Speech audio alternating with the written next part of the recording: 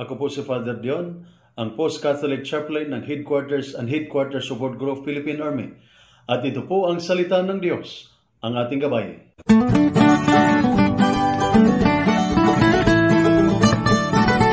Ano po ba dapat ang epekto ng ating pagsasabuhay sa ating pananampalataya sa ating ugnayan sa kapwa? Ngayon po ay Tuesday ng ikalawang linggo ng Kwarisma at ang mabuting balita ng Panginoon ayon kay San Mateo.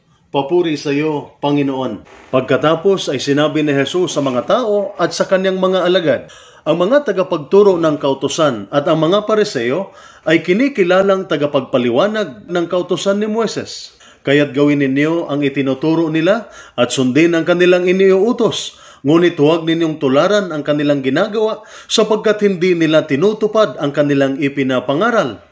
Pinagpapasan nila ng mabibigat na dalahin ang mga tao, ngunit ni Daliri ay ayaw nilang igalaw upang tumulong sa pagdadala ng mga iyon. Pawang pakitang tao ang kanilang mga gawa. Nilalaparan nila ang mga lalagyan ng talata sa kanilang noot braso at hinahabaan ang palawit sa laylayan ng kanilang mga damit. Ang ibig nila ay ang mga upuang pandangal sa mga handaan at ang mga tanging upuan sa sinaguga. Gustong gusto nilang iginagalang sila sa mga palengke at tawaging guro. Ngunit kayo, huwag kayong patawag na guro, sapagkat iisa ang inyong guro at kayong lahat ay magkakapatid. Huwag ninyong tawaging ama ang sino mang tao sa lupa, sapagkat iisa ang inyong ama, ang amang nasa langit. Huwag kayong patawag na tagapagturo, sapagkat iisa ang inyong Panginoon, ang Mesiyas. Ang pinakadakila sa inyo ay dapat magiging lingkod ninyo ang nagpapakataas ay ibababa at ang nagpapakababa ay itataas. Ang mabuting balita ng ating Panginoon, pinupuri ka namin, Panginoong Heso Kristo. Tinutuligsan ni Jesus sa mabuting balita ang mga ginagawa at pag-uugali ng mga tagapagturo ng kautusan at mga pareseyo. Ang kanilang saluubin at pag-uugali ay lubos na salungat sa kanyang halimbawa. Pumarito si Jesus upang maglingkod habang ang mga tagapagturo ng kautosan at mga pareseyo Pinagpapasan nila ng mabibigat na dalahin ang mga tao, ngunit ni Daliri ay ayaw nilang igalaw upang tumulong sa pagdadala ng mga iyon.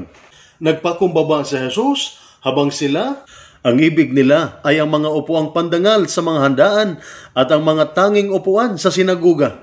Gustong gusto nilang iginagalang sila sa mga palengke at tawaging guro. Kaya pinayuhan ni Jesus ang mga nakikinig sa kanya na huwag gayahin at tularan ang kanilang mga ginagawa. Masyado silang conscious sa kanilang posesyon at katayuan. Hinahangad nila ang pagkilala at pagbati ng mga tao ayon sa kanilang titulo. Ipinahayag ni Jesus sa mabuting balita na siya ay pumarito hindi upang paglingkuran, kundi upang maglingkod Ngunit dapat din nating mapansin at maalala na pinayuhan din ni Jesus sa mga tao na pakinggan at sundin ang mga itinuturo ng mga tagapagturo ng kautosan at mga pariseo.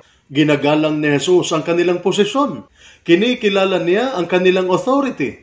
Ngunit dahil ang kanilang pamumuhay ay hindi tugma sa kanilang mga itinuturo, ang kanilang ginagawa ay salungat sa kanilang ipinapangaral, kaya ang sabi ni Jesus, hindi sila karapat-dapat tularan. Ang kanilang pamumuhay ay hindi nagpapakita ng magandang halimbawa. Hinahamon tayo ng mabuting balita na suriin ang ating paraan ng pamumuhay. Kumikilos tayo, hindi po upang mapansin ng mga tao. Handa po tayo dapat na magtrabaho sa background, sa tago, upang sa pagkakita nila sa mabubuting gawa, ang kanilang luwalhatiin ay hindi tayo, kundi ang Diyos. Kumikilos tayo hindi po para sa ating self-gratification, kundi sa ikaluwalhati ng Diyos. Ang paraan ng ating pagsasagawa ng ating pananampalataya ay hindi po dapat magbunga ng pagpapakitang gilas at sensasyonalismo. Ang ating pagsasabuhay ng ating pananampalataya ay hindi po dapat magparamdam sa atin na nakahihigit kanino man. Sa kabaliktaran, ang pamumuhay ng ating pananampalataya ay dapat mag-akay sa atin na gawing makabuluhan ang buhay ng iba at hindi po miserable para iangat ang kanilang buhay at hindi po pabigatin upang bigyan sila ng kagalakan at hindi po pagkasira ng loob para sila iligtas at hindi po upang hatulan. Muli, ano po ba dapat ang epekto ng ating pagsasabuhay ng ating pananampalataya sa ating ugnayan sa kapwa. Ito po ang salita ng Diyos, ang ating gaway. Let us pray. Lord God, Almighty Father, Creator of mankind and author of peace, those who take refuge in you will be glad and forever will shout for joy. Protect our soldiers as they discharge their duties. Protect them with the shield of your strength and keep them safe from all evil and harm. Grant them courage and hope. May they ever experience your firm support, gentle love, and compassionate healing. Be their constant companion and their refuge in every adversity.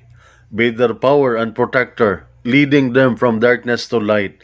May the power of your love enable them to return home in safety, that with all those who love and care for them, they may ever rejoice and praise you for your loving care.